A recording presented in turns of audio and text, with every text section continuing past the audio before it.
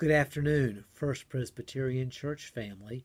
Hope this finds you well on Wednesday, May 26th. We are in those last few days, not even the last week, but the last few days of May. And May is one of my favorite months.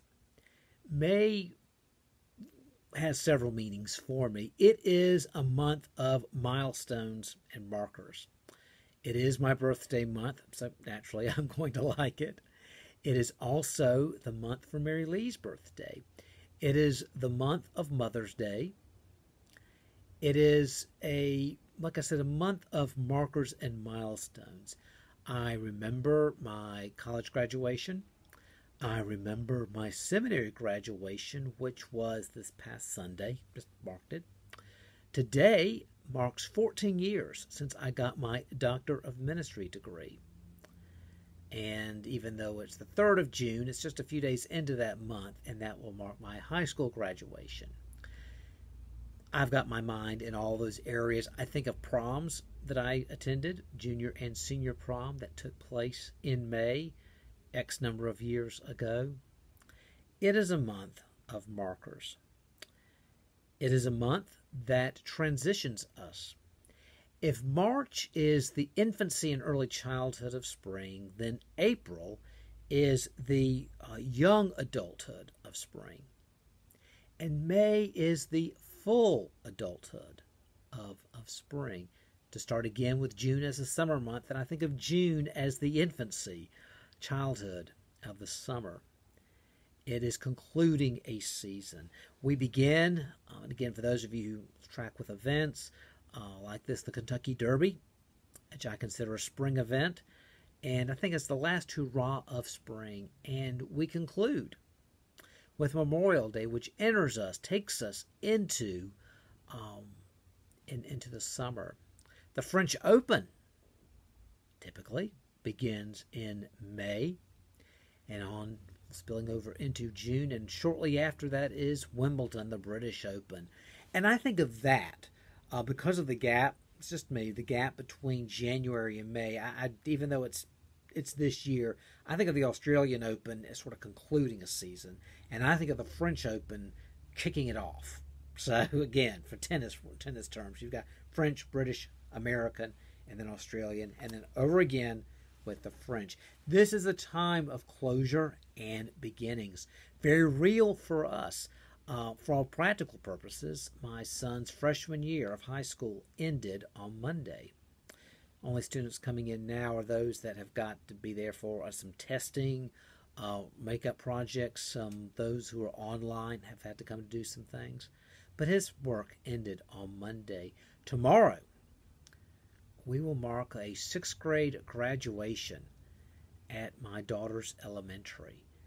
And the elementary journey began for us in the fall of 2011. And now, 10 years later, and we got an extra year because of our ISD, goes to the sixth grade. Uh, but uh, that will end tomorrow. A friend has a child graduating. The last of the children is graduating, and this friend is using this phrase lasts make room for firsts. And that's been sort of the theme in their family is they're looking at this end of this one era and the start of another. This past Sunday was Pentecost Sunday. We really just spoke to it. We didn't focus it on this year. Next year we'll have more of a Pentecost focus uh, because we also used it as a day for Memorial Day. If you follow the church calendar, and I've been talking through the church calendar uh, in, in Easter, we've got Lent, well, Ash Wednesday to Lent, Holy Week, the weeks that follow in Easter, with Easter kind of being a hinge between two eras.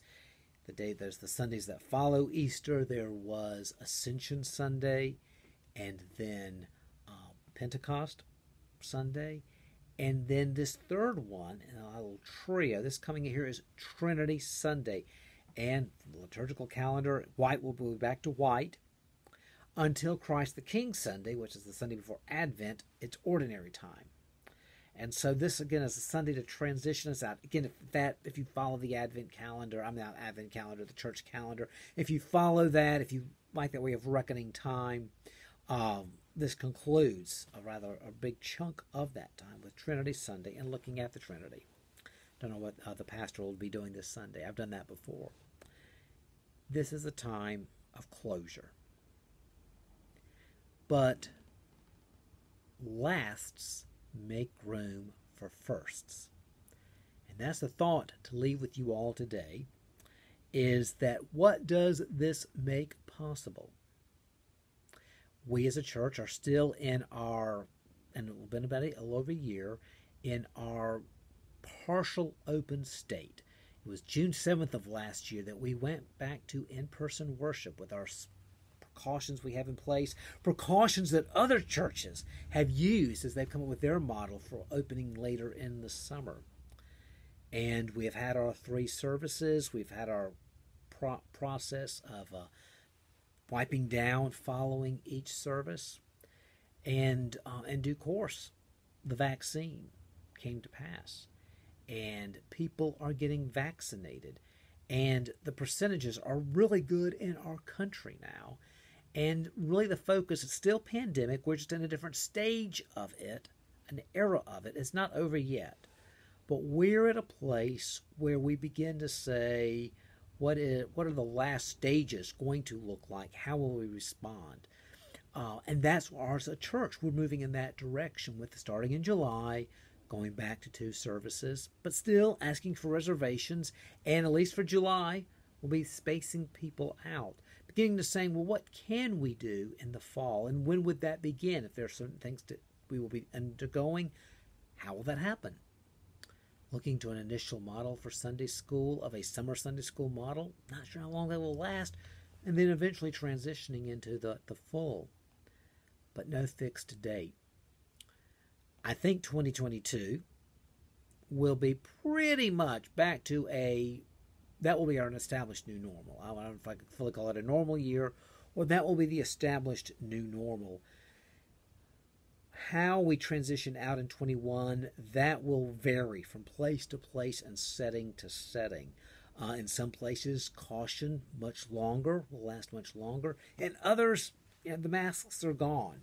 Again, I was at an event the other night and nobody was wearing a mask. And this was a fairly responsible event. It wasn't, you know, whatever.